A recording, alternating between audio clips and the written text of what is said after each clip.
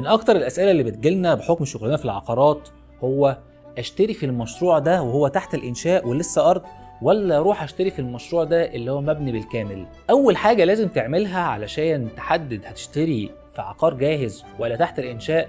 لازم تعرف الأول هو أنت بتشتري ليه؟ لازم تعرف الأول هو أنت بتشتري عشان تسكن ولا عشان تستثمر؟ بتشتري عشان تفتح فرع جديد لشركتك ولا لمحلك؟ ولا بتشتري عشان تأجر وتستثمر ولا معاك فلوس وعايز تحافظ على قيمتها فبتشتري عقار كحصالة فلوس ولا ليه بالظبط؟ يعني لو انت مثلا بتشتري علشان هتسكن يبقى لازم تسأل نفسك أنا عايز أسكن إمتى؟ مش تستلم إمتى؟ لأن ده واحد من أهم الأسئلة اللي هتساعدك تعرف تشتري جاهز ولا تحت الإنشاء. طيب لو انت بقى عايز تشتري عشان تستثمر يبقى أهمية الاستلام هنا هي ميعاد التشغيل ونسبة الفلوس اللي هتدفعها من إجمالي الثمن حتى الاستلام عشان تقدر تتوقع التدفق النقدي من الاستثمار ده. يعني هتدفع كام كل فترة ولمدة قد إيه؟ وهتسترد أرباح كام؟ وإزاي؟ وخلال فترة قد إيه؟ وتعرف تحسب أرقام ونسب زي ال ROI وال ROE وال IRR وال payback period وال equity multiplier تاني حاجة لازم تعرف ميزانيتك كام بالظبط. وهنا مش بتكلم على إجمالي الرقم اللي تقدر تدفعه بس. لازم تعرف هل أنت عايز تدفع كاش والكاش ده كام؟ ولا عايز تقسط. وفي الحالة دي بتشوف معاك كام كاش النهارده وتقدر تأمن قسط شهري كام وبدون ما تأثر على أسلوب ومستوى حياتك. لازم تكون محدد كويس قوي إنك تقدر تدفع كام وتقدر تدفعهم إمتى مش بس كام. لأن بناء على الحسابات دي هي اللي هتحدد. ما ينفعش مثلا تقول إنك عايز تستلم فورا وأنت مش معاك حتى 20% على الأقل من ثمن العقار اللي عايز تشتريه. ده لو هتشتريه طبعا بالتمويل العقاري. فقبل أي حاجة لازم تجاوب على الأسئلة دي وتحددها صح. تعالى نشوف مميزات وعيوب إنك تشتري off plan يعني مشروع تحت الإنشاء. أنا هكلمك الأول عن العيوب. أول عيب إنك بتشتري سمك في مية. إيه ده؟ يعني إيه؟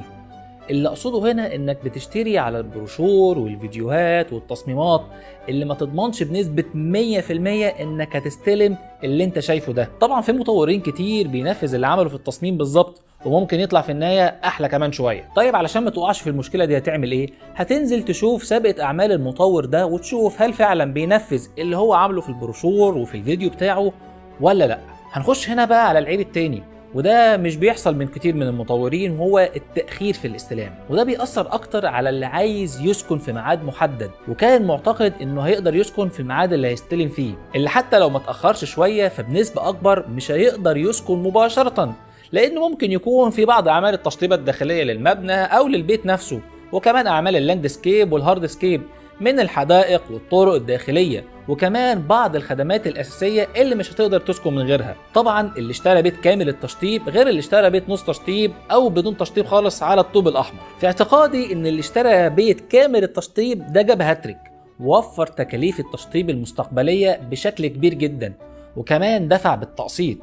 وأنصح إنك لو تقدر تشتري البيت كامل التشطيب يبقى أحسن. طبعا ده لو مطور خبرته وسابقه أعماله قوية. العيب الثالث إنك ممكن تبهرك البروشور والفيديو والتفاصيل الجميلة دي وممكن ما تاخدش بالك من التفاصيل الأهم وهي اللي تخص المطور وسابقة أعماله. وملاءته المالية والأوراق القانونية للمشروع وموقع الأرض والتخطيط العمراني لل compound والخدمات اللي فيه وعرض الشوارع الداخلية والتفاصيل المهمة دي اللي هتأثر عليك وعلى أسلوب حياتك في ال compound. دي كده كانت العيوب للشراء على الخريطة أو off plan. السؤال اللي جه في بالك هو إزاي اتجنب العيوب دي؟ هقول لك الأول استنى لما تعرف المميزات. طيب إيه هي المميزات؟ أول ميزة هي السعر. هتقول لي إن المشاريع الجديدة بيكون سعرها أعلى من القديمة أو من الكاش. هقول لك إن الفكرة كلها إنك لو مثلا قدرت تشتري في أول طرح للمشروع ده فبيكون عندك ميزة إنك عارف إن الأسعار في المشروع ده هتزيد مرة واثنين وثلاثه حسب حجم المشروع وعدد المراحل كمان.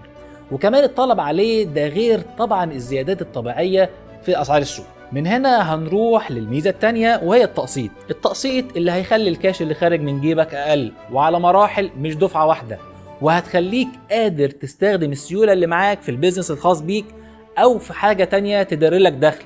وكمان هتخليك أريح نسبيا على ما تكون طلعت الكاش اللي معاك مرة واحدة. تالت ميزة بالذات للي بيسكن إنك تشتري بيت بتكون أول واحد يسكن فيه فهتكون ضامن إن كل حاجة في البيت ده معمولة زي ما انت عايز بالظبط وعلى ذوقك وباختيارك. رابع ميزة هي العوائد على استثمارك في العقار ده. هقول لك إنك لو اشتريت محل أو مكتب أو عيادة مثلا وهتستلم بعد ثلاث سنين وتشغل بعدها بسنة ولسه بتقسط على سبع سنين. بالتالي أما تيجي تحسب العوائد هتحسب العائد على المدفوع هتلاقي نسبة جيدة جدا. وكمان هتكون بتأجر بالسعر اللي بعد أربع سنين مش بسعر النهارده. ده بخلاف إنك تشتري عقار جاهز استلام فوري وفي الغالب هتدفع كاش وكمان هتأجره بسعر النهارده فهتلاقي حسبة العوائد مختلفة بشكل كبير. تعالى بقى نجاوب على السؤال اللي جه في بالك من شوية، إزاي أتجنب العيوب دي وأحصل على أكبر قدر ممكن من المميزات؟ هقول لك انت عارف الإجابة بما إنك بتتابعني. إلجأ دايما للخبير العقاري اللي عنده علم ووعي وأمانة واللي هيقدر يساعدك فعلا تختار الأنسب ليك، يقدر يوفر لك وقت ومجهود وفلوس كمان.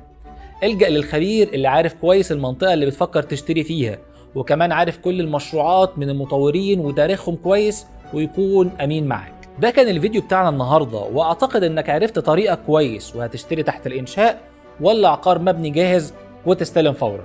كان معاكم أحمد لطفي أشكركم على حسن المتابعة في أمان الله.